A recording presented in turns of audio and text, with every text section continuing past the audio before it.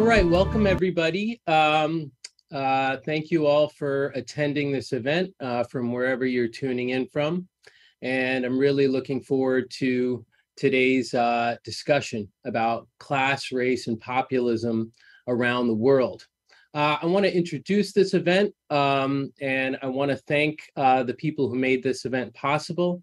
My name is Tej Nagaraja. I'm a professor at Cornell University and this event is brought to you by eCornell, uh, which hosts a whole range uh, of events. Uh, and it's also sponsored by the Einaudi Center for International Studies at Cornell. And I want to thank you all uh, for tuning into this event. Uh, uh, and hope it's a really productive discussion.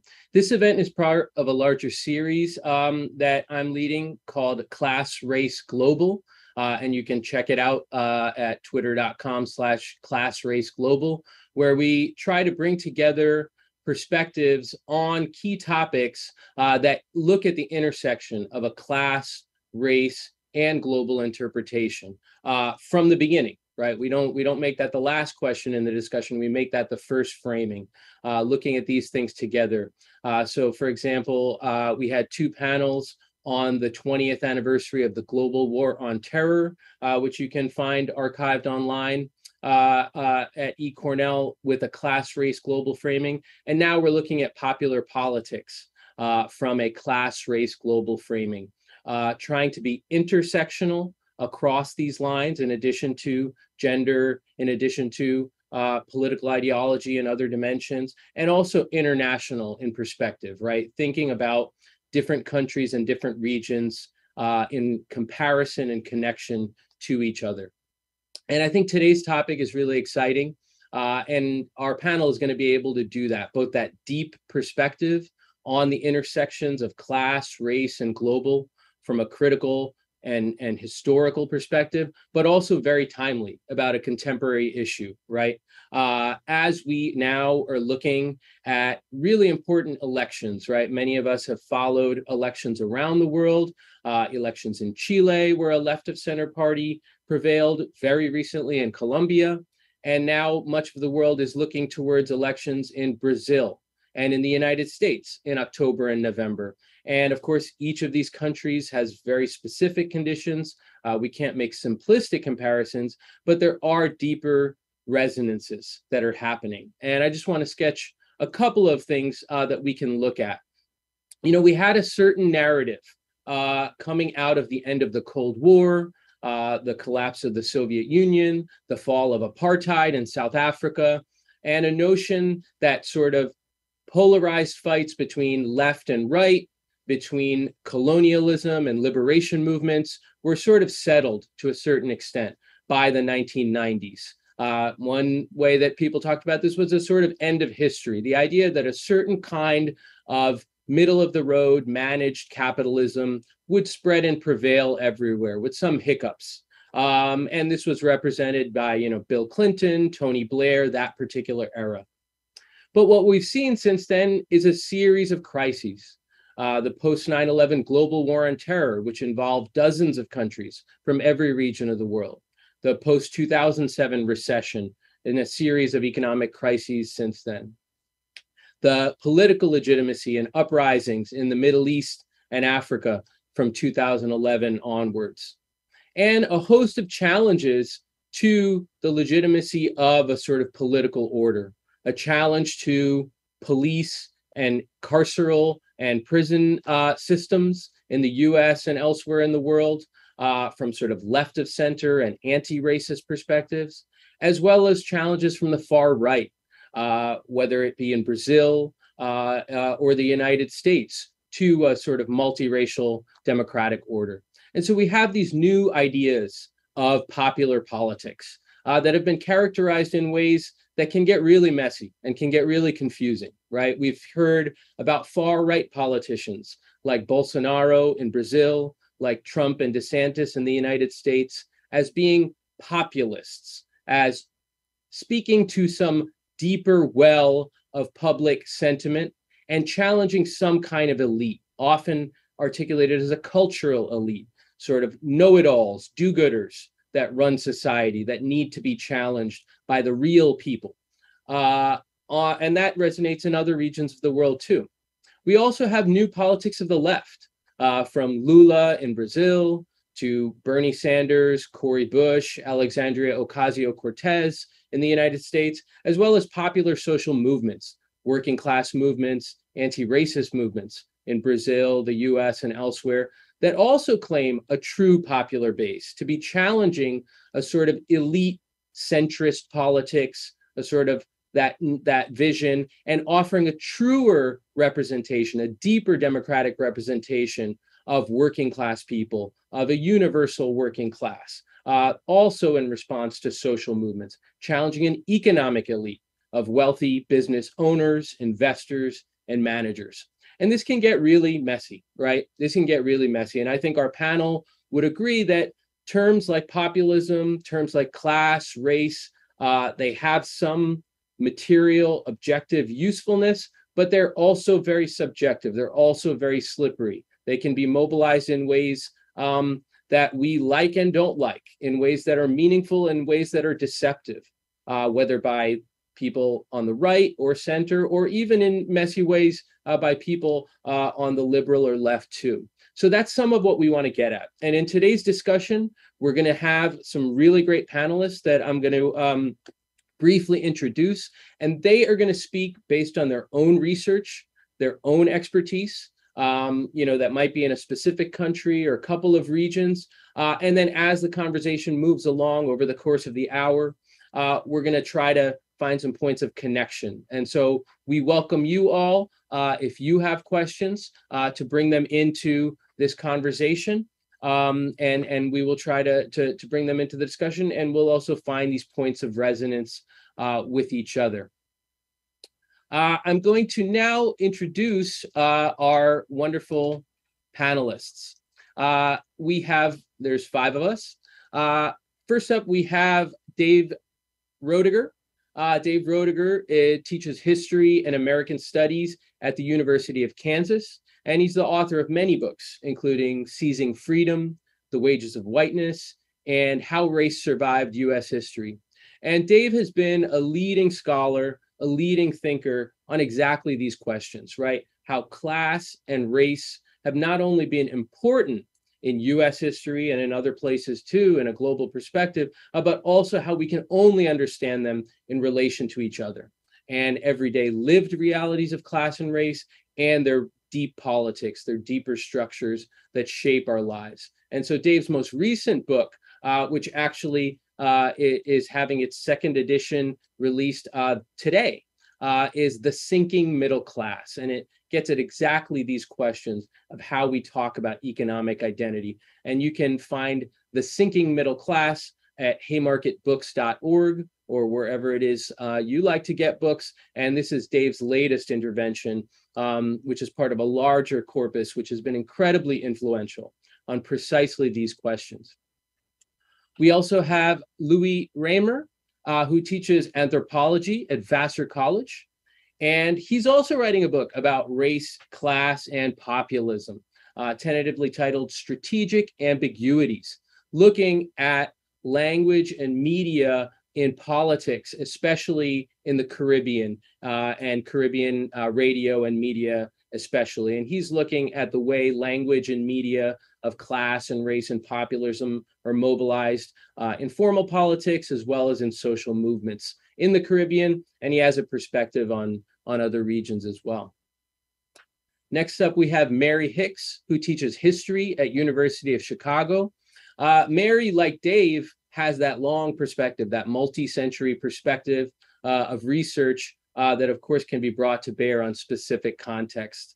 Uh, she's a historian of the Black Atlantic who looks at race, slavery, capitalism, and migration uh, in global perspective. And she's writing a book uh, about Black mariners uh, in the world of South Atlantic slavery that looks at the, the realm of Portuguese expansion globally from the perspective of enslaved and freed Black seafaring laborers, uh, and especially at some of these these global connections, especially between West Africa and Brazil, sort of top down, bottom up uh, together. We also have Wendy Muse, who is also interested in the connections between Africa and Brazil. Uh, Wendy is completing a dissertation in history at New York University. And Wendy studies 20th century networks, political networks, uh, also in the Portuguese realm uh, and ties between the African continent uh, and Brazil. Uh, and she's also animated and engaged with 21st century politics in Brazil, uh, having built ties in Brazil with Black women's political movements uh, and, and other things going on down there. And an important project that Wendy's working on is the Left Pocket Project podcast, uh, which is a podcast which focuses on the histories of leftists of color, um, highlighting different stories and sort of bringing forward different voices um, to sort of build a larger a larger archive and a larger fresh story for our generation of the histories of leftists of color. And you can check that out on patreon.com slash leftpoc uh, or or other wherever you get your your podcast finally i'm tej nagaraja. I'm a historian at cornell university based in the ilr school and i try to do class race global in my scholarship uh, and in my teaching. I'm writing a book about World War II that looks at soldiers in World War II and their labor and class struggles, their race struggles against Jim Crow and criminal justice violence, and their global visions of anti fascism and anti colonialism as well on a global stage. So, um, to my to my writing and my teaching, I'm really interested in those intersections where there's meaningful and animated commitments between people concerned with economic justice, with racial justice, and global justice. And um, when you get deeper into some of these uh, stories, you find that um, these are not abstract connections. They're often very deep and lived um, connections. Um, so I'm really excited to get into this discussion. I want to go first to Dave. Um, and Dave, uh, tell us something about your work uh, and and how you bring to bear on these questions of race, class, and populism, and you know as they they might speak indirectly or even directly to popular politics uh, for our times in the 2020s. Thank you, Tej, uh, and thanks for all your work putting this together. Um, and uh, uh, likewise to Chris and to Nicholas for for working on it. I'm very great to be around such exciting young intellectuals, uh, and I look forward to the discussion a lot. Um, I want to first of all register a little bit of a reservation, or at least just to say that our topic today is, I think, mostly going to be electoral politics. Uh, I don't think, and I'm going to adhere to that emphasis. I don't think that the electoral emphasis uh, gets us to either a strong analysis of um, where resistance movements are or of where they need to go and what they need to imagine. Uh, but it certainly is an important component and context for how we reach some of those uh, decisions. So I'm going to be drawing in the first few minutes here uh, about my work uh, from sinking middle class uh, broadly and um, in, and I'm going to go back 50 years. I'm a historian, so you're stuck with going back first 50 years and then 30 years. I'm going to try to provide a couple of frames for how the United States uh, ends with such impoverished politics. Now, when I say that, I'm not implying that before 50 years ago there was any kind of a golden age that we should look back to in terms of, of US politics, but rather that there was a different set of ground rules and uh, contradictions that governed uh, that earlier uh, period. So it was about 50 years ago that austerity and, and uh, neoliberalism uh, were agreed upon by broad sections of capital, uh, and that uh, the rulers of the United States decided that we couldn't have guns and butter together, we couldn't have butter at all, uh, and we would only have a new and certain kind of, of um, techniques and guns for, for violence. Um, so that we began to see the emergence of what Ruthie Gilmore has wonderfully called the anti state state. That is, a state that wasn't actually all that austere, but was devote, devoted to spending on repression and incarceration and empire and a kind of a targeted tech um, driven empire. Now, not too surprisingly, the Republicans were a lot better at this than the Democrats were. Uh, I grew up around Republicans in a very Republican Southern Illinois area in which people thought they were Republicans because the Republicans would balance their checkbooks just like my neighbors said, we have to balance our own uh, checkbooks. Well, it didn't turn out that anything like that uh, emerged, but the Republicans uh, around race and racism and around austerity had a more uh, consistent rap, and therefore they won very uh, regularly uh, in the years after this change of ruling class uh, policy. So there's only one Democrat, Carter, between the Nixon election in 68 and the Clinton election in, in 92. And this uh, rise of the so called Reagan Democrat, the defection of New Dealers, uh, once the there wasn't much more that could be said for the welfare state in terms of policy and uh, expansion, uh, this uh, rise of the Reagan Democrat provoked a crisis, desperation, eventually in the ranks of the Democratic Party.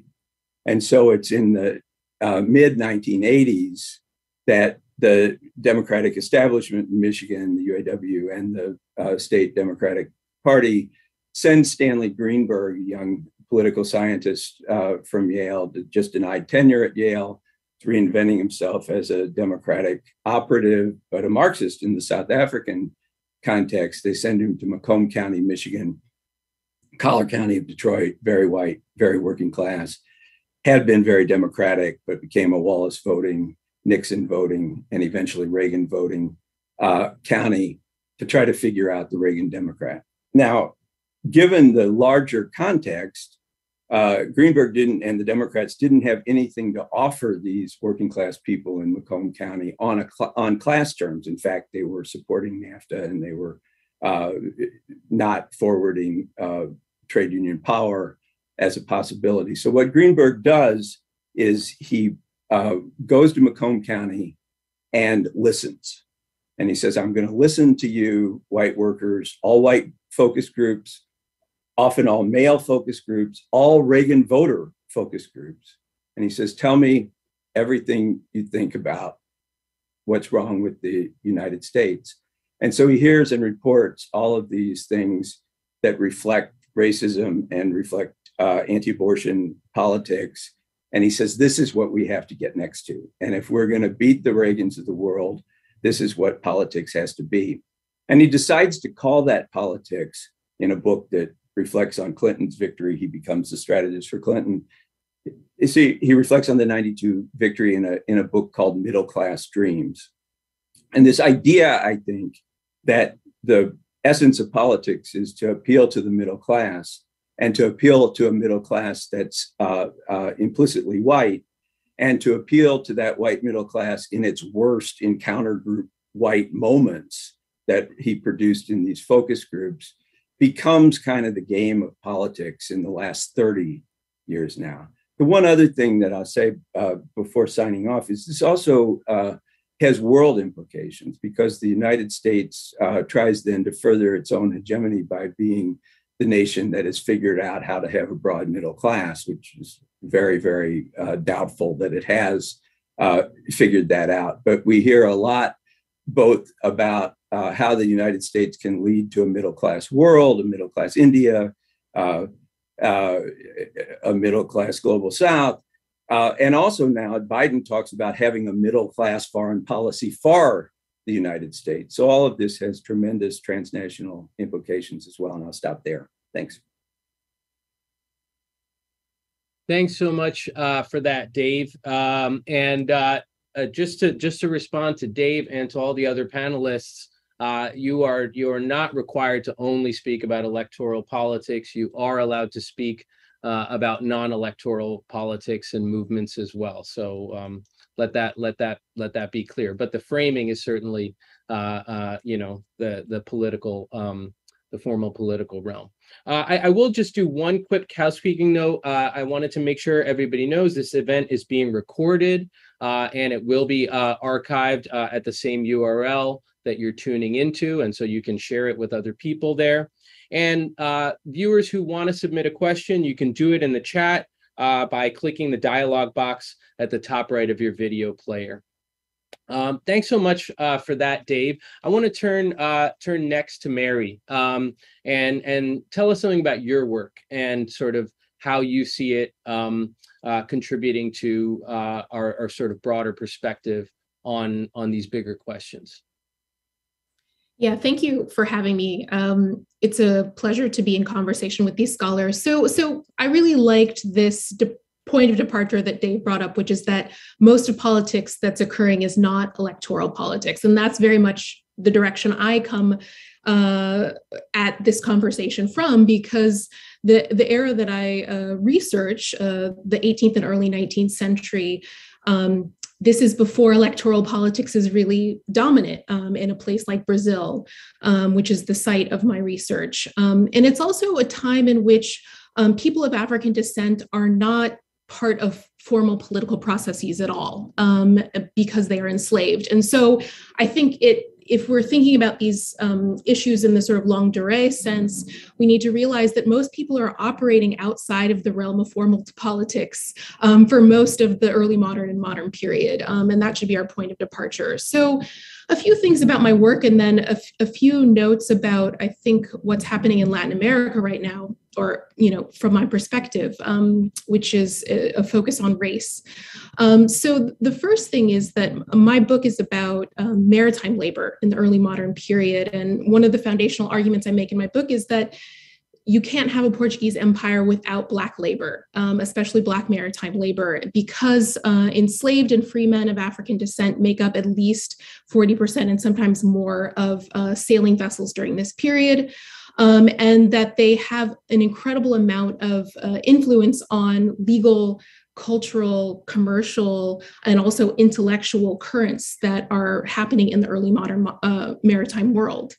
Um, and so my book itself does not explore class consciousness. I'm actually looking at a time period in which um, these men, these laborers, these racialized laborers and enslaved laborers oftentimes don't see themselves in terms of class solidarities um, they oftentimes identify with um, patronage networks. So that means that you, you the goal uh, of what you're doing is to, in fact, insert yourself into a patronage network with the expectation that someday, if you're lucky and you work hard enough, you'll be the patron, right? And you'll have clients.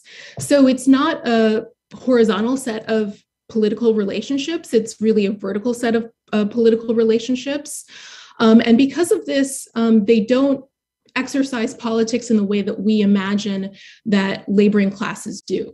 Um, and so the second thing is that there is a, a, kind of burgeoning sense of racial solidarity, even in the late um, 18th century. Um, one of the chapters of my book looks at how um, mariners of African descent utilized a free soil law um, that was adopted by the Portuguese Empire in 1761 uh, to lobby for freedom. So basically, if you set foot on Portuguese soil and you're enslaved, you can become free. Um, but this is only really realized through legal petitioning. And so they create alliances with free Black brothers, um, Catholic brothers in the city of Lisbon in order to petition the Portuguese state to free them. Um, and so you have um, this kind of cross status but intra-racial set of solidarities that emerge around these legal struggles that um, are really, you know, they foment for for the next 50 years um, until um, Brazilian independence, and then even after in 1822. And so this is one example, I think, of, of the kind of politics that people who are excluded from formal political processes can engage in. Uh, they can mobilize around issues of legal activism. They can create ephemeral networks of solidarity and information sharing. Um, and so I think that there are a couple of kind of parallels to today. Um, I was looking at the election in Colombia, um, and I think it's an interesting moment to think about the ways in which social movements become institutionalized in Latin America. Um, so, for instance, um, Gustavo Petro, who's now the president elect of Colombia, is a long term politician. Uh, he was the mayor of Bogota. Um, but Francia Marquez, his running mate um, and, and vice president elect, actually comes from an activist space right? She was an environmental activist. She's a Afro-Colombian working class woman originally. Uh, she became an environmental lawyer. Um, she was part of the peace process um, that was initiated in um, 2016. Um, and it, it's really her positioning as a feminist, as an anti-racist, um, who you know, articulates that she's speaking to Afro-Colombian and also indigenous Colombian populations that enabled Petro to really put together a viable coalition to, to receive over 50% of the vote. Um, and so I'm sure we'll get into this um, today, but I think the PT is looking to do something similar. Uh, even though I think in Latin America, you have um, kind of diverging political imperatives among the left. Some leftist movements are, are trying to create coalitions with, um, you know, uh, center leftists and leftists, and others are sort of swinging to the center. And so there's some interesting things happening in Brazil right now. Um, the PT uh, is just on the verge of releasing their platform um, for this coming election in October, uh, in which they walk back some commitments to labor legislation to overturn um, some very unpopular legislation um, that was adopted in 2017 by Temer, who's the former president. Um, but they're also redoubling on their commitments to racial justice, um, to green policy, um, and to um, bolstering programs, really popular programs like the Bolsa Familia, which is all, the largest welfare program in the world.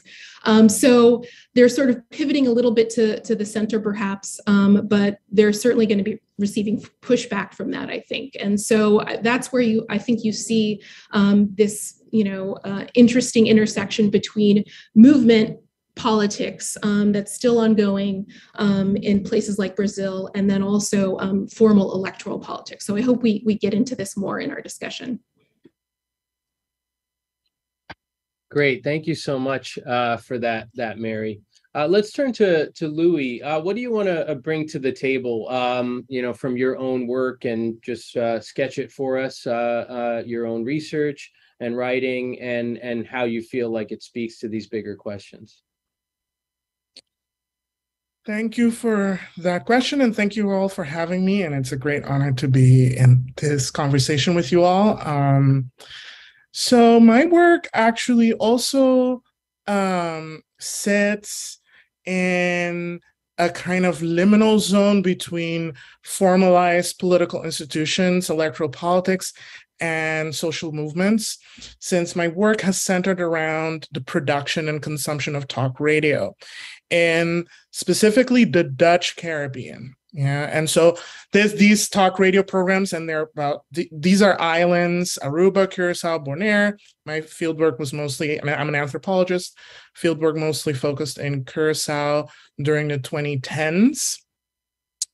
And so certainly these talk radio programs are sites where uh, where uh, people comment on electoral politics, where political parties and um, politicians, individual politicians, will turn to in order to try to amass support, but also are places where broader political narratives are being constructed by the regular listeners. Like there's its own scene if you will of of different kinds of activists and pundits and so on who are basically constructing political narratives that then actually end up shaping constraining sometimes even the kinds of things that then that formal politic politicians can can do or can persuade people of right? So um so it's a site that that that that um plays an important role in setting the tone of like what what even gets to be imagined as politically possible at any given moment in time. Um specifically around um, the, the the corner of the Caribbean where I work, there is a kind of intersection between Europe and South American politics because these are European overseas territories, but are right next to Colombia and Venezuela, and thus are affected by the dynamics there. Um, and if there's one thing that I can take that I want to really emphasize about my my work in this space is just how much um, none of these categories can really be taken for granted. So, um, what race and what class even mean, right? What they refer to, um, is not something that um, any kind of political movement at this moment in time should take for granted, and certainly not something that I, as an empirical researcher, could could have taken for granted. Because what I noticed from the talk radio programs in Curacao is that actually the the um, the part of the political struggle that was being waged and and political struggle not just in terms of electoral politics but between different kinds of activists or pundits and so on was waged over the meaning of these categories themselves. Like what is race? What does class actually refer to? Is it about like a lifestyle? Is it about how you speak? Is it about what kind of clothes you wear where you shop? Or is it about right um, your profession and your membership uh, with a trade union? So those so there there's a struggle there was a struggle that i found between materialist and cultural understandings of class so that's one thing and also race right um, between race as something that has to do with um, issues of um, identifying elements of the, the, the, colonial past or the afterlives of slavery? Or is it about um, certain kinds of material inequities in the present, right? That um, that uh, that distinguish Afro descendants specifically in, in in the Dutch Antilles from other people. So that was those were the struggles that were happening, and so I think a really important point here is to never um, really take that for granted. How people understand those categories also means um, it's also a struggle about how people imagine their cool their their their interests and how people imagine and understand who are their potential allies right? Um, depending on how one understands what class is or what race is that can change then what kinds of alliances become imaginable and possible, but also how people understand their interests. So it's not such an easy thing like, well, if we're going to just talk in this particular way, then we're going to be able to appeal to people because of their class, because they might have a completely different understanding than you. So I've often seen electoral politics uh, uh, um, in in in this space fail because people just politicians aren't really in touch with some of these competing narratives about what class and what race are, how they are understood, and thus fail to um, be effective. All right. So um, the other thing is that populism as a frame, right? And because my my my my talk radio site is so shaped by language and how people frame things, um, one of the things that I've I've really taken away is just how much populism as a frame can really um, take over every kind of discussion and reframe things in very unusual ways. So, one of the ways, and sometimes uncomfortable ways. So, one of the um, particular ways that I saw this happen is around the politics of decolonization. So, because Curacao is still a non sovereign territory, part of the Kingdom of the Netherlands, this question of should Curacao become independent or not um, resurfaces ever so often. And, and it certainly did when I was doing my fieldwork in 2010. Um, the island had just changed its political status um, to that of autonomous country. You know, I call it colony 2.0. We're always like updating our our software, but like the basic basic arrangements haven't really been challenged.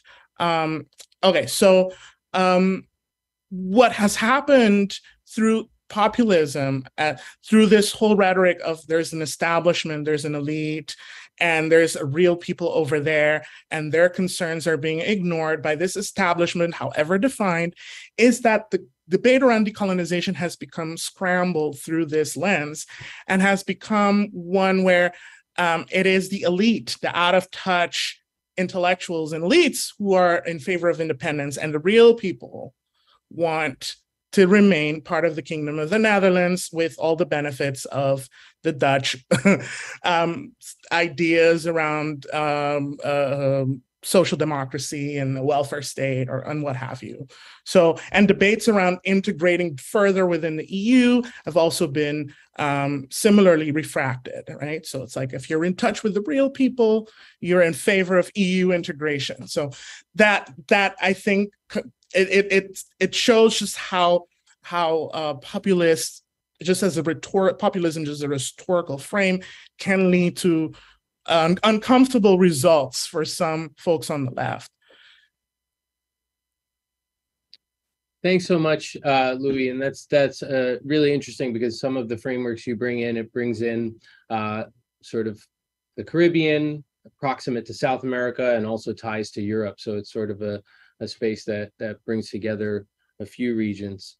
Uh, let's turn to, to Wendy. What do you want to bring to the table uh, from from your work uh, and and how it can speak to to some of these bigger questions? Sure. Um, and thank you so much for having me and muitos abraços for all the Brazilian watchers and listeners um, now and going forward. Um, obviously, I work on Brazil um, and my work also relates to Portuguese speaking Africa, so former Portuguese colonies, particularly Angola and Mozambique, um, and the intersections and networks that are formed um, between everyday Brazilians. It's a multiracial group of people that I'm looking at, but primarily um, people of African descent living in Brazil, um, and the leftist, primarily leftist networks that they form with people in these Portuguese African countries in the process of decolonization and following that. Um, and what's interesting is the time period that I'm looking at during the Cold War, Brazil is undergoing a, a military dictatorship. And while we often, you know, bookend it, the formal dates are 1964 to 1985, there's a lot going on in the lead up to that, which is pretty fascinating when you're thinking about things that are going on now in Brazil and things that are going on as well in the United States and other parts of the world. Um, but that's that's the time period that I'm looking at. And what's fascinating is, as I said, they're going through a military dictatorship in Brazil, while at the same time trying to overthrow the Portuguese in um, these African countries, as well as trying to subsequently form their own countries, thinking of you know new political frameworks. How do you live in a post-colonial society, right? What does governance look like?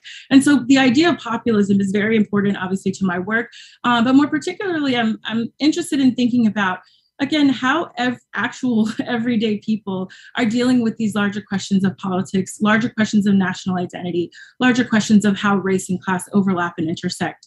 Um, particularly because so many of the people in my research are people of lower lower class economic means um, people who have no formal connection to the state um, and people in some cases especially in, in the african situation or southern african situation in particular people who are villagers people who are peasants um, who are forming these major political networks for the first times of, in their lives um, and engaging in politics in in a rather um, urgent sort of way, right? Um, and so the notes that they sort of trade in the process is very interesting to me as a researcher, um, but also kind of thinking about why Africa in particular becomes this heightened political space for people in Brazil and the Afro diasporic um, idea as a whole, right? People in the past had gone to typically Cuba or the USSR or the United States or even Portugal when they thought about the Cold War, when they thought about changes in politics eh, within Brazil. But these are people who are looking instead to Africa and not in the sense that we often are taught or even discussed with regard to, to slavery, right? These connections between Brazil and, and Africa, West or Southern, um, with regard to the slave period, right? But thinking about modern day um, iterations of what Africa means to the average Brazilian, um, and particularly Brazilian of, of, of, of, color or of African descent. But furthermore, um, my work explores sort of what that does to the Brazilian left, right? We have discussions sometimes about how the Brazilian left helped helped uh, parts of Southern Africa, how they helped in the decolonial process. Um, but at the same time, we don't talk quite as much about the influence that actual African people had at the time on the politics going on in Brazil and on the struggle against authoritarianism that's happening in the Brazilian state. Um, so that's what my work is on. But I see lots of overlaps, even in terms of my own personal experiences, because doing research at the time that I have been um, under what some would consider, uh, you know, a I would consider a fascist regime, but certainly some have called a proto fascist regime um, under Bolsonaro. And even in the lead up to that, um, during the impeachment of Dilma Rousseff, um, during the ouster of, of her candidacy, but then also the sort of um, upending of Lula's presidential campaign in 2018. So really seeing some political machinations that are scary and very reminiscent um, to the time period that I'm studying, all the way down to the censorship, the police state, and fill in the blank other authoritarian means to sort of keep people down. Um, so that to me has been really fascinating, and I'm I'm really looking forward to our discussion, and in particular how we center the activism and engagement of of people who perhaps are overlooked in our discussions often about politics and what that means uh, going forward in Latin America and around the world. Thanks. Thanks so much for that, Wendy. Um, and, uh, you know, I think it's been really uh, fantastic um, to really kind of sit with this perspective. Um, you know, we increasingly have a discussion uh, using a framework of racial capitalism, a framework of global capitalism, to try to think about how we can look at any context, right? Any any country or region across decades and centuries and, and our own times, right? And um, we've seen in popular movements, uh, and, and Wendy has talked about some of the popular movements of the 20th century and 21st century, where there is a real uh, sense, even among uh, you know people that that don't uh, don't have um, the the ability to travel perhaps or to travel around the world who see their politics in global terms in in the context of global struggles. Um, and and we see some of that. And so people that are watching this and, and are trying to read some of this work um, can think about these discussions about racial capitalism, about global capitalism, and how we can conceive of these things um, from the early emergence of capitalism uh, in the time that uh, Mary uh, Hicks is talking about in her work through, you know, uh, work that Dave has written about in the 19th and 20th century with the sort of interactions of Native Americans, Black people in the era of slavery and into the era of emancipation, and waves of immigration, diverse cross class immigration from Europe and elsewhere through the era of the Cold War uh, that Wendy is talking about, and decolonization and more recent recent eras. Um, and so I want to move to I want to read a couple of comments um, that sort of speak to uh, the, question, and then I'll, I'll I'll ask another round of questions that really ask you all to speak squarely to contemporary political struggles. Uh, Javier Bravo says history repeats. What are the opportunities for remedies? Stella says, you know, let's talk about the parallels today. Mary has addressed how marginalized groups uh, navigated history and politics and society how do we change the narrative and move forward? Um, so those are just a couple of questions to sort of put into the ether. But I'm going to ask for a go round. I want to hear from everybody now uh, about politics today, politics in the 2010s and 2020s. Um, you've all laid out some of the reference points. Um, you know, for the United States, Dave has talked about sort of the 1990s uh, moment, the 80s and 90s moment and and and I'll ask him to speak more about the the contemporary era. Uh, and we've had references now to Colombia, to Brazil, to Chile. Um, and one thing that you know I want to do in these conversations and in the series of events um, is to think about the U.S. in the world, right? Uh, you know, Dave talked about the imperious role of the U.S. in the world, uh, both sort of projecting the U.S. state, both projecting a sort of a, a, more punitive carceral approach to its domestic populations and and and globally, uh, but also to think the U.S. of the world, right, and and the U.S. of the Americas as well, right. And we all know that the United States um, is not uh, only exceptional or singular in relation to the Americas, but it also shares a history, a history uh, of Native American peoples, uh, of, of Black people who endured slavery and its subsequent regimes, of European migrations of different kinds, of non European migrations of different kinds since then, of migration within the Americas in the 20th, 21st century. So, one of the reasons to have this panel uh, is to not only view uh, the US as a country that has a foreign policy. Uh, to Latin America, which we should definitely talk about, but also as a as a as a place animated by its own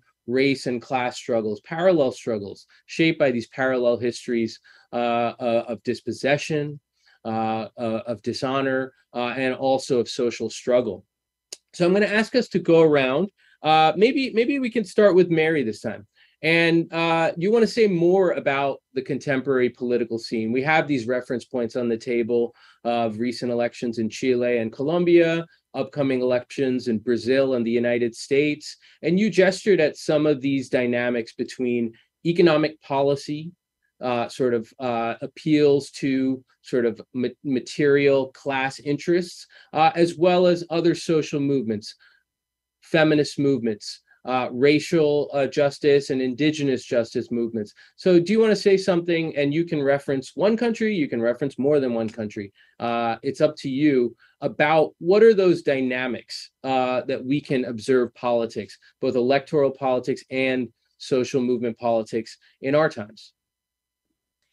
Yeah, so I think it's a really interesting question. Um, when I was preparing for this, I was sort of pondering what's unique where does latin america diverge from us um, and i think that we're actually in a moment of convergence between latin american and us politics in a sense because you know the cold war played out differently in latin america. There's basically not a liberal consensus right in latin america that is is you know pressuring the extremes of american politics towards the center. And so you have operational communist and socialist parties still surviving and then you also have pretty much avowed authoritarians, which, you know, Wendy alluded to earlier, Bolsonaro being one of them, but also there are many others. And so you already have this polarization um, through 20th century Latin American political history that now I think Americans are becoming aware oh, yes, there are actually a range from socialists. Probably communists, maybe like 10, but like from socialist into authoritarian fascists in the United States as well. And so I think that um, one of the things that we can do as observers in the United States, even though I know we're, we're speaking to an international audience, is actually learn from how social movements and, and political parties have operated in this much more ideologically complicated space um, than Americans are, ourselves tend to acknowledge. Um, so I think a couple things uh, that are interesting to me about contemporary politics uh, in Latin America right now is that you have a number of um, sort of center left and leftist parties trying to marry uh, I guess what's termed social justice or you know uh, racial justice in the United States with um, economic justice um, and remedies to inequality. So, for instance, in Colombia, the platform uh, of Petro included things like universal college, free college, um, but also very clearly um, saying that you know indigenous and Afro-Colombian populations who had felt marginalized by the political process would be would have a voice in his, his administration and i think that um, you know marquez helped him make that case and he actually got a very high turnout among um, you know regions that are that are sort of dominated by a, an Afro-Colombian population. You know the PT, which is um, you know after sort of being being on the outs because of a, a number of issues from mismanagement, um, corruption, et cetera, but also um, you know sort of the legal processes around anti-corruption um, that were dominated by conservatives. Um, has now sought to revive itself with the candidacy of Lula. Um, and he again is is is trying to marry, I think, um, you know, material, uh, you know, claims and policies with um, with racial justice uh, claims and policies. And the first time he was elected uh, in 2002, he won a majority of the Afro-Brazilian population right? And so he's always been coded as a kind of, um, in a way, almost black figure because of his working class roots, because he rose through um, the union movement in Sao Paulo. Um, uh, he was uh, president, uh, head of a, a metal workers union, um, and it was through a series of uh, wildcat strikes at the end of the 1970s that he sort of rose to national prominence. Um, so, because of his class background and because his family is from the Northeast, which is a hev- heavily Afro-Brazilian part of the country, he's always been sort of coded as uh, a friend of Afro-Brazilians, even though there have been many rightful critiques of, of, of the limits of, of PT's polit- policies towards Afro Brazilians. Um, and so I think that um, you're seeing experimentation about trying to marry these two things.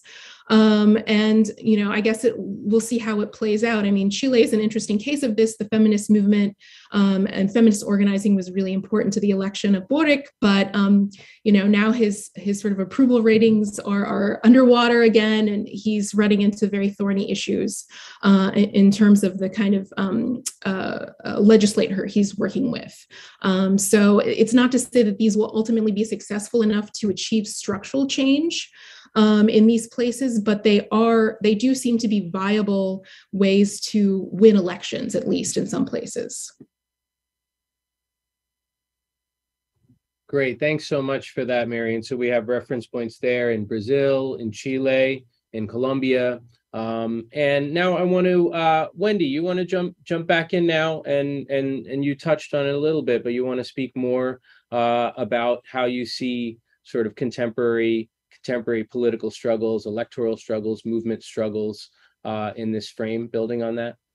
Sure. Um, I just wanted to add too that I, I, think it's interesting that we're talking about populism when I think in many cases in Latin America, when we talk about populism towards a right wing uh, direction, we're looking at foreign intervention, right? We're looking at US meddling, European meddling. We're looking at um, foreign press having a major involvement in terms of swaying the population. We're looking at movements like Fora Dilma, um, Get Out Dilma, basically, um, that were led in large part and financed by US-based, uh, you know, think tanks. And so we, I think we have to be careful sometimes when we talk about populism, at least on the right, uh, without understanding that there's a lot of stuff going on in the background there. But even on in terms of what is the nominal left, right, in Latin America, there's also meddling by way of certain foundations, certain NGOs, and the limitations that they also place on the population. Um, some of the research that I've done on Southern Africa, you see in particular US-based foundations literally clamping down on or attempting to clamp down on uh, too far left uh, movement building, right? Um, in the interest of some other uh, objectives. So I think we have to we have to also be careful, and not to say that these people don't have autonomy, that these people are not free thinking or something, but just to understand that how understand that populism as we know it and as we refer to it is also shaped by all these other outside factors um, that that kind of change the way um, people people operate. And that goes for the united states as well right? So i'm not just saying this is exclusive to to latin america. Um, but what i do think is is important is that when we talk about political movements as as david referred to earlier we have to make sure that we're not missing things by virtue of sort of closing down our discussion to or limiting it solely to electoral politics. What you see throughout Latin America, as we've hinted at already, is a large movement of um, Afro descendants, people of indigenous descent, around these sort of questions of race and representation through the, the college system, through the school system in general, and through labor. Um, despite the fact that these populations are predominantly of color, if we want to use that term, um, a lot of the leadership, politically or otherwise, is still often in the hands of upper to upper middle class white men. Um, and while some of those people are well, you know, not to say that they're all like poorly intentioned or something, um, but some of those, some of what we miss when we talk only about the electoral realm or only about formal political organizations is that we miss, for example, the unions that are being formed by domestic workers, predominantly women of color throughout Latin America. We miss, for example, the indigenous movements that are pushing for education in schools about indigenous um, histories throughout Latin America, or, for example, all of the the, groups that formed um, to push for African history throughout Brazil and other parts of Latin America. Argentina also comes to mind for this. Um, so I think what we and also, I think what we sometimes miss is if we silo these movements as well beyond electoral politics into something that's just about class or that's just about race. Um, and in fact, what we're seeing is an overlap or an engagement of multiple things at once. In particular, really, in particular, recognizing that the grand majority of the population that's poor throughout the Americas is going to repeatedly be um, and has been historically people of African and indigenous descent. So I think in some ways, while um, as Mary hinted as well, as, as Lula and the, the Workers' Party is trying to kind of meld these two things together, they need to be careful that they're not, um, or is my opinion, they, they have to be careful that they're not throwing out um, their larger voter voter body, the predominant um, indigenous and, and black voter body that put them in office and that has kept them in office despite all of these challenges in the process of solely favoring um, what is kind of shaking out to be somewhat of, um, I don't want to use the term neoliberal, but a slightly more right pulling politics by virtue of some of the people who they've been um, bringing on as their vice presidential candidates or as their advisors. And so I just hope that going forward, because we've already seen this kind of happening in Chile, kind of happening in, in Argentina as well, that people continue to stay close to their roots and take into account what their constituents actually need and again, that goes for the US as well. And we know very well, I think, the way that um, the Democrats have had trouble um, really defending the populations that put them there. Thanks for that, Wendy. Yeah, and I mean, I think that last point is especially, um, you know, really hits home uh, as we sort of think about a few of these different contexts. Um, Louis, you want to jump in on this? You can you can speak to any country or more than one country that you want to talk about.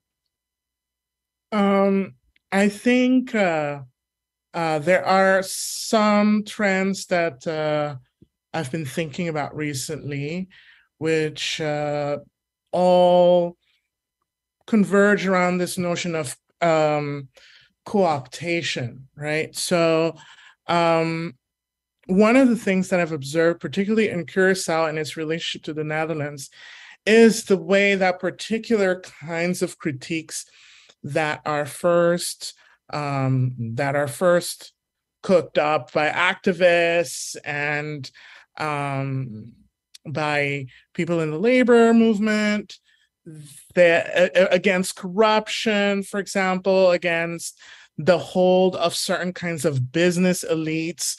Basically the kinds of conversations that in the in the US is usually glossed by the notion of a um, professional managerial class, um, how those ended up being co opted actually in the service of promoting and successfully promoting and packaging another round of austerity measures. Um, so, and this this this round of austerity measures, this was in 2020, um, was billed as like a way to crack down on the and by the way the professional managerial class in curacao had been racialized in this iteration as the black jet set cracking down on these like black upwardly mobile man middle managers who are you know making way too much money regulating too much and mucking up the economy et cetera et cetera.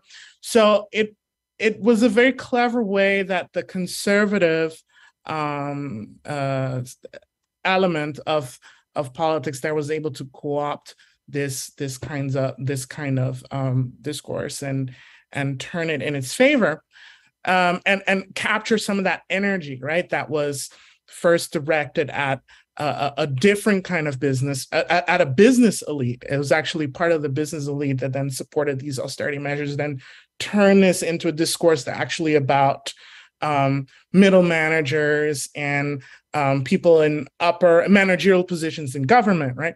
So that was a very interesting moment. Um, this ties to also what I've noticed in Colombia, which is where we've we see that Uribismo, which is the which is was the more or less the general consensus in Colombia for the past, I don't know, decade or so. Um, and indeed, I, I, I want to second the point we made earlier about how, um, indeed, in, in South uh, Central America and Caribbean, ideological messiness and heterogeneity is definitely a fact of life um, in ways that probably people in the US might have to get used to. Um, but anyways, Uribismo, which was the centrist consensus in Colombia, which had its kind of liberal components, but also some authoritarian and even violent paramilitary elements to it, um, collapsed. Yeah. So imagine that's like pro democracy, this coalition of like pro democracy liberals, and then some paramilitaries over there that are part of the coalition but but disavowed. Anyway so the, anyways that that coalition is, is is completely broken. And in fact the the two contenders in this in the race recently were were both positioning themselves as being against the uribista establishment. And what was really interesting, and I'm speculating a little bit here based on my own work in Curacao, was like it made, it made me ask the question whether the whether the opponent to um, Petro was in fact maybe an attempt for of some of that Uribista element to try to rebrand itself, right, through a kind of counter-establishment framing and and rhetoric and positioning. Um, and so, you know, one of my cautious optimism slash pessimism about the moment um and certainly in in um in also in uh, for chile and and other places to to to think about the ways that you know the conservative or even further right elements are going to be able to respond. Another thing on the, on the social justice aspect one of the things that i've observed also in the dutch antillean context is how um, the rhetoric around the afterlives of slavery and the reckoning around that can be co-opted in very very anti-black and toxic ways. So that talking about the afterlife of slavery or invoking it becomes part of arguments for uh, cultural pathologies right? Or um, explanations for criminality and or deviance of um, of Afro Curaçaoans and Afro Dutch people, and more generally saying that, well, it's because they uh, were slaves, that's why they have a propensity for violence. And, um, you know, it's kind of Moynihan remix. We've had some of these arguments in the US as well about matrifocal households as a legacy of slavery. So, in many ways, we're seeing. I've been seeing return of this kind of response, right? And and actually taking this moment of racial reckoning and saying and using and folding that back into an argument um, for uh, bringing things back on a, a on a ter terrain of, of cultural um, pathology so that that's a more comfortable terrain for the for for more for more right wing um, political agents to operate on. Yeah Thanks for that, uh, Louis. And I, I mean, I think uh, you know we have a couple of key points there, right? I mean, you know, the the this panel has that word populism, right, in quotes, and the way that that's been mobilized, and as as Wendy, uh, you know, says quite pointedly, right, that is often used and mobilized to to actually mask very elite-led agendas. Uh, and and you know part of the the the larger terrain in all of these countries and globally um, for those of us that are trying to navigate the country we live in, but also learn about countries elsewhere, uh, is the way that we will increasingly hear that a certain political party is fighting the elite or fighting the establishment or is populist. Um, and um, that in and of itself could mean anything. It could mean truly anything.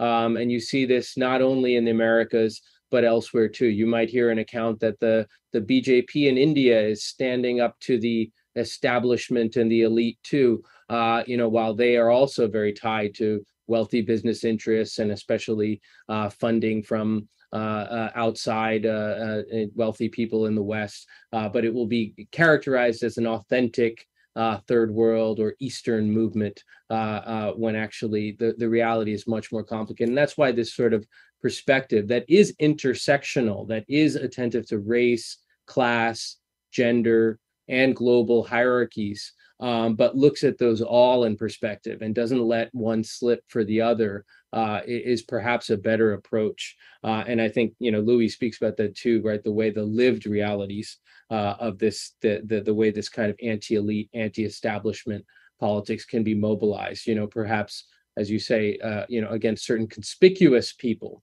who could be called a jet set, but to what ends, right? To what to what ends? I want to just shout out a couple of comments um, uh, that have come up. Uh, you know, uh, Alejandra asks about the role of the military uh, in the U.S. or Latin America with respect to populism. Uh, Javier asks about how we can think about Mexico and President AMLO uh, in this messier story. Um, and and Mark talks about, I think this relates to Louis' point, the way uh, that populist movements have often mobilized a kind of nationalism uh, that is not really beneficial to working class people, to more progressive policies. Um, so you see that resonance point.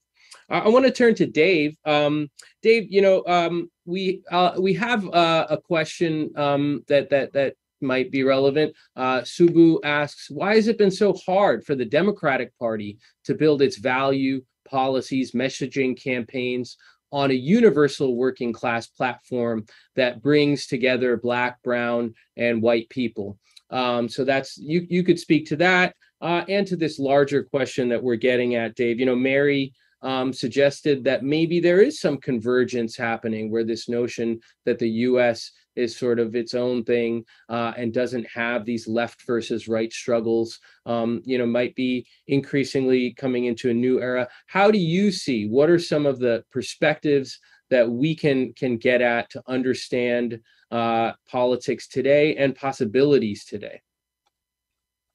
Well, on the on the question of uh, why it's so hard to build that universal movement, uh, the universal movement is a, a, worthy and but also kind of a seductive uh, goal, I think, insofar as the Democratic Party elements in the Democratic Party, going back to this uh, appeal, the Clinton appeal to the uh, white working class or the or the middle class dreams uh, universalism becomes a way to not talk about the grievances of indigenous black and brown uh, people and not uh, in the present to support immigrant rights. And so uh, and that's become a very very complicated set of questions in which you know years ago it was possible for my friend mike davis to talk about the congressional black caucus as social democracy uh, in the united states now it would be much, much harder to think in those terms and to not regard it as kind of hopelessly split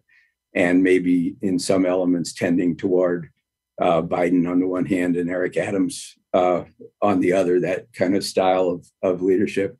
Um, I wanted to just say uh, two or three things very briefly. Uh, this has been extraordinarily useful uh, for me. I wanted to throw South Africa into the mix as uh, another example of um, the ways in which popular politics are, are conducted in, but also outside of the pre- national electoral realm. There's not much that's interesting that uh, is going on in that realm in South Africa, but there's so much uh, campus and township and uh, trade union militancy and struggles over land uh, militancy to the extent that I, I, think that we're beginning to see some scholars and some activists uh, realizing that uh, Black South Africans were uh, oppressed as as Black workers, but they were also uh, oppressed as Indigenous people, and so that whole set of questions is is uh,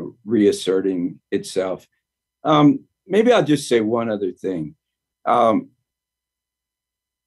to me, it's it's been the most shocking thing in the recent past in the United States has been the way that the Buffalo massacre has disappeared from our consciousness. I was at, I happened to be in DC and went to the national uh, anti-gun uh, rally, and there were some eloquent uh, speakers from from Buffalo there. But the one particular way that I talk about it is I came into left politics at a moment when uh, white activists, at least believed that they had been charged by SNCC and Black Power advocates with going back to the white community and uh, trying to deal with its sicknesses and and contradictions.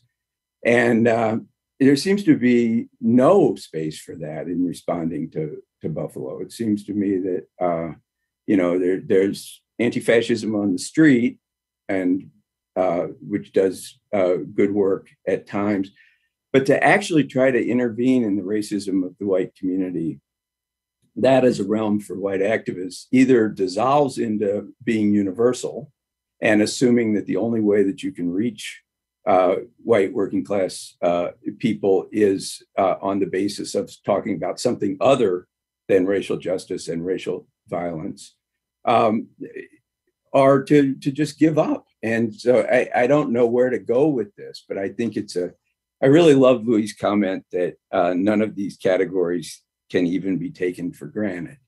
Uh, he might have said can ever be taken for granted. I can't read my own handwriting, but either way, it works. It works just fine.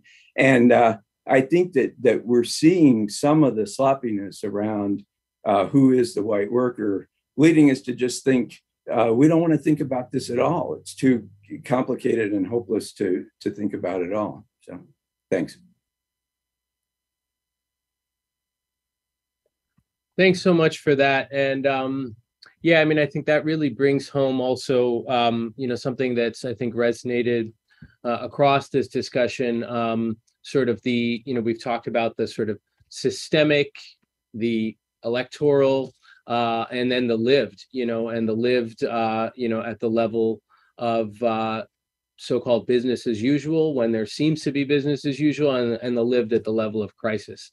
Um, that something like what happened in Buffalo um, reveals um, both both a horror and injustice in itself, uh, and and something that that reveals a larger lived crisis um, uh, uh, that that runs deeper um, and will either be addressed by electoral politics or by political movements of one kind or another, uh, you know, uh, uh, and and be spoken to. Um, I want to I want to see sort of uh, if if any of our panelists, as we wrap up, uh, you know, I will I will have the last word just to close us out. Uh, but I want to see if any of you want to offer any sort of lightning round final remarks, particularly, um, you know, the the sort of themes I'll suggest is sort of any connections or resources or final thoughts. So uh, if, you, if you see any sort of points of connection that you want to point to, uh, you've already done a very good job in the last round. So so you've done you've done well already. But any sort of points of connection you want to point to, any resources you want to point to uh, that that uh, people can check out, whether it's a website or a magazine or an author or a political movement or whatever, uh, or or final thoughts. So um, I will, I will, I'm going to go around and ask you to be brief uh, on your uh, resources, connections, or final thoughts. Louis, any resources, connections, or final thoughts? Um, just actually a final thought following up uh, with what uh, David Roediger said. Um, I think it's key to and to think about the construction of the white worker in relationship to South Africa, also because of the the long uh, shadow of the Carnegie report, the poor white problem, and all that kind of stuff, and engaging with the literature on that, actually engaging with South African history on that front has been very useful for me to think about um, how um, the construction of a class identity might look like, um, how it might be mobilized for particular political agendas that are that that are quite different from my own, right? That um, so that was very useful. Um, so thinking about this through the work of Tiffany Willoughby Herard has been useful, and also uh, the work of Ann Stoler, she's written about this as well. Thanks, Louis. Uh, Wendy, any uh, connections, resources, or final thoughts? Yeah, I have so many resources, but I won't get into them. Um, the lots of books to read. Um, but I did want to just comment briefly about uh, white working class and that this concept, um, and also kind of to offer some hope because I know we've been very heavy on the, the side of kind of reality of things. But I know that there was a question earlier about like what hope is there basically going forward. So really briefly, um, I just wanted to say that we have to be careful when we talk about this framework of like white worker and them kind of being the challenge because if you think about the shooters, almost all of them are middle to upper class white men, um, sometimes college educated, sometimes even more than that. Um, and if you think about the people who are disrupting countless movements as we speak, including unionization efforts in the United States, it's corporate types, right? It's not poor white people who are uh, at the root of this problem in quite the same way that that has been framed in the mainstream press and, and by some others um, who are well intentioned. Um, but I think we have to be careful when we're when we're kind of repeating that rhetoric unintentionally. Um, so I see white working class people unifying all around the world with people from other racial groups at work, um, in universities, in on campus, off campus, student movements. You know, fill in the blank. There are lots of movements happening in Latin America and the U.S. that I think, as I always say, we sort of sleep on. Right? Um, these efforts for Amazon unionization, for Starbucks unionization. I mean, if you look at the people who are involved, it's a multiracial group. And so I think that is potentially a starting place for sort of healing or at least grappling with some of these questions about around racism and how to combine the efforts for making a better life for the working class while at the same time being mindful of the need for um, real racial equality in the process. So I'll, I'll end with that. Thanks, Wendy. Uh, Dave, connections, resources, final thoughts? Yeah, I very much agree with Wendy about the the way that it was a very easy leap for the New York Times and others to blame the white working class, so called. The term doesn't make too much sense, but the but uh, to uh, put Trump onto the white working class when I think it was probably much more a middle class and even upper middle class phenomenon in many uh, areas. Um, for hopefulness, uh, I'd say I assume it's up. The plenary session of the Great uh, Labor Notes Conference from last weekend in Chicago, which includes a talk by Chris Smalls and and Starbucks workers and uh, uh the new uh, reformed president of the Teamsters Union, and it sort of makes the same set of points that uh, that Wendy makes. it makes those points both explicitly and implicitly but it also has its limits. The uh, Sean uh, uh, O'Brien, the the leader of the Teamsters, gave a rousing trade union speech, and then he, said, "And we have to uh, uh, build upon the people who made this country great." Pause, and you thought he was going to say the working class or the working class, uh, the multiracial working class, and he says the middle class. And so I think that there's a lot of ways that we can do better about bringing uh, the kind of reasoned class analysis that Wendy calls for um, into it. Thanks. Mary, uh, connections, resources, final thoughts? Um, I actually want to go back and hear some of Wendy's uh, resources, but um, I will just end by saying I think um, this is a great place to end because I mean there are there is an opposing force to the kind of uh, left wing populism we've been talking about all evening, um, and I think the question about military and police was pointing towards that. And I would I, I would qualify. I think most of the time when people are talking about white workers, they're not actually talking about working class people because they don't exercise very much political power influence in United United States or or in Latin America, but they're really talking about uncredentialed white people, um, and many of those people end up working for the military and police, and that builds a constituency for um, you know the kind of security politics, um, you know, militarization of police um, that we see in both the United States and in places like Brazil um, that Black activists have been fighting um, for the last 12 years um, or more. And so I think um, what hope I see is that um, people are calling attention to the you know they're politicizing their own deaths and the violence of the state um, and that's really changed the conversation around policing um, so i think that activists can make a difference they can raise consciousness um, and i do think that any change that's going to come is going to come from below because even intellectuals i mean the political class you know is itself subject to to what's going on in the base. But i think even intellectuals aren't as good about navigating some of these questions around you know how do you organize across lines of difference as working class people are themselves? So i, I really do think that we should probably be followers more than leaders um, in, in, in you know in going forward Well, thanks so much for that. Uh, I'll take just a couple of minutes to to wrap up. Uh, I want to I want to thank um, this wonderful wonderful panel, um, and uh, you know you can you can stay tuned uh, to the to the writings uh, and and of course look these people up online uh, and and see their writings. Mary Hicks, Wendy Muse. Louis Raymer or, and, and Tej Nagaraj and myself are on Twitter.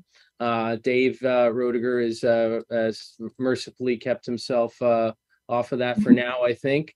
Um, and um, you know, you can certainly look at the the the writings of these individuals, um, you know, articles, podcasts, um, and otherwise, and stay tuned to their work.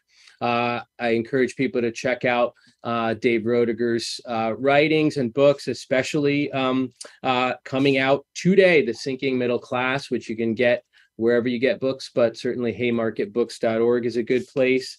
Check out uh, Wendy's uh, Left Pocket Project podcast um, uh, and and you can see that on Twitter or on Patreon.com slash Left POC. And I appreciate the other resources that were circulated. Um, you know, uh, Dave mentioned the work of Ruth Wilson Gilmore in sort of thinking about this long arc, uh, this turn in economic policy towards a more austere neoliberalism and this more punitive sort of warfare approach not only between countries but within countries. Um, and as as our uh, last couple speakers, Wendy and Mary, have spoken to, that's a key resonance uh, between the U.S. and Brazil. Uh, these are two societies that are deeply animated.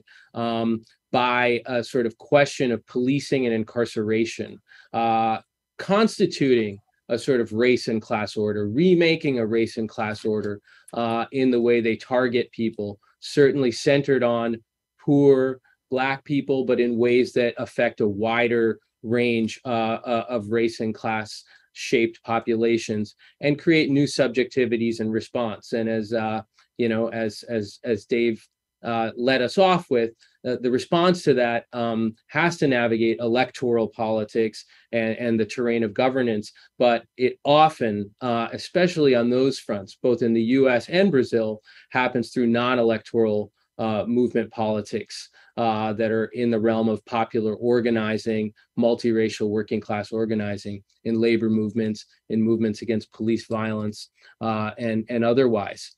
Uh, I want to thank um, uh, Dave and Louis and Mary uh, and Wendy. I want to thank the people that worked on this event from eCornell and our supporters at the Einaudi Center. and you can stay tuned to events at eCornell and you can stay tuned to uh, Class Race Global at twitter.com slash class race global for subsequent events.